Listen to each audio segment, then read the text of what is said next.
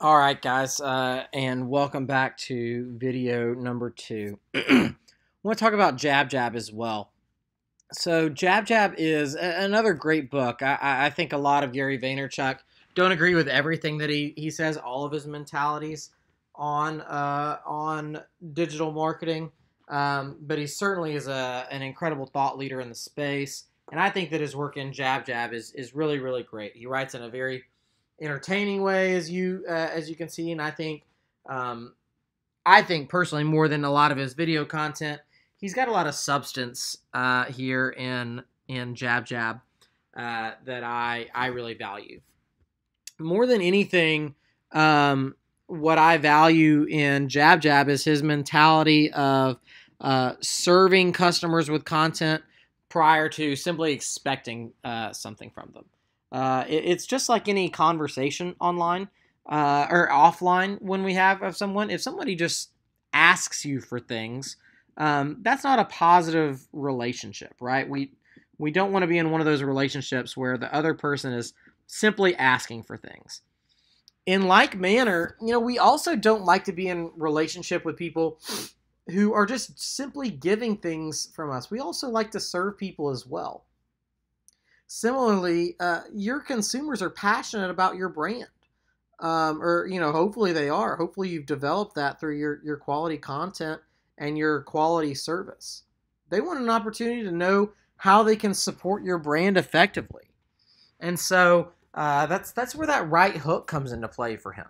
So right as as uh, as Gary says in this, um, you know, the the jabs are when uh, you know we're we're providing you know something for them in the form of content that will you know soften them up that will you know not necessarily drive to a direct sale but something that'll put a smile on their face make them feel appreciated provide them an escape from maybe their everyday life through laughing or something like that. Right? It helps you to tell the story in a noisy mobile world um, for you know how how the story of your brand gets told and empowers your consumer to be a part of that story as well. The right hooks are those calls to action, right? Buy my T-shirt, uh, download this white paper, call us now, things like that.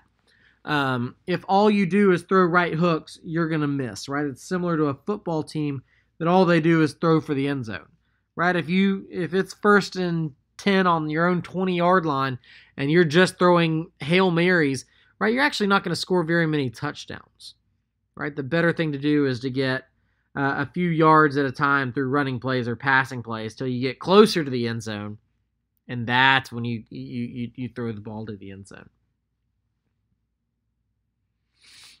Right? It's not powerful enough uh, to simply, um, you know, show and tell about your product. You have to actually explain to your client how they are supposed to either consume that content or how they're supposed to respond to that call to action.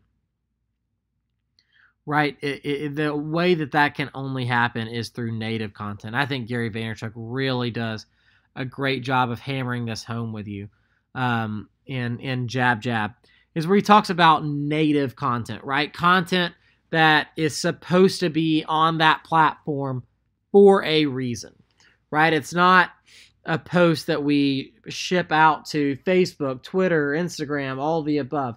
No, these all of these platforms have their own unique style, have their own unique tone, uh, and their own unique expectations. People use Instagram for a certain thing, and people use LinkedIn for a certain thing, just as they use other platforms for certain things too. So you know, one of the things that he, he likes to repeat in this book, and he, he does in a lot of his other stuff, is that content is certainly king, but context is even more important, right?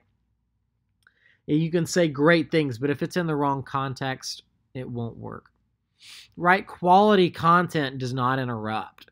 Right? It, it fits into someone's life. It, it, it, you know attracts people, but it's a pull instead of a you know it, you know it, it wants to you, it, it draws people in as opposed to uh, simply interrupting them. Right? Certainly, we don't want to shy away from uh, the fact that you know we have a we have a narrative to tell we have a, a product to sell or a service to sell. Right? But we don't want to ask too much right? This is where the jabs come in. This is where we're you know trying to be of service right? Precision with native content might you know really start to to uh, soften these people up so that when you have an ask it'll fall upon better ears right similar to it being native you're going to want to leverage uh, pop culture as well, right? Uh, making sure that you you know whatever's popular with that target audience that you know you're you're fitting in with that that you're uh, that, that you know you you that your audience understands that you've got a foot in this world. You're not solely focused on um, you know making your widget or providing this service that you're a person just like they are and that you understand things right? And so leveraging pop culture um, you know is is awesome stuff. You know it'll fit in with their news feed and it'll make you seem much much more approachable you know uh, part of him saying you know as i say micro here uh, is that this is a repetition thing one of the things that i see go wrong all of the time with how brands use social media is that they'll make one post and either forget about it or decide that they haven't gotten enough engagement or uh, sales or leads from it, and so they stop. No, consistency is key with this.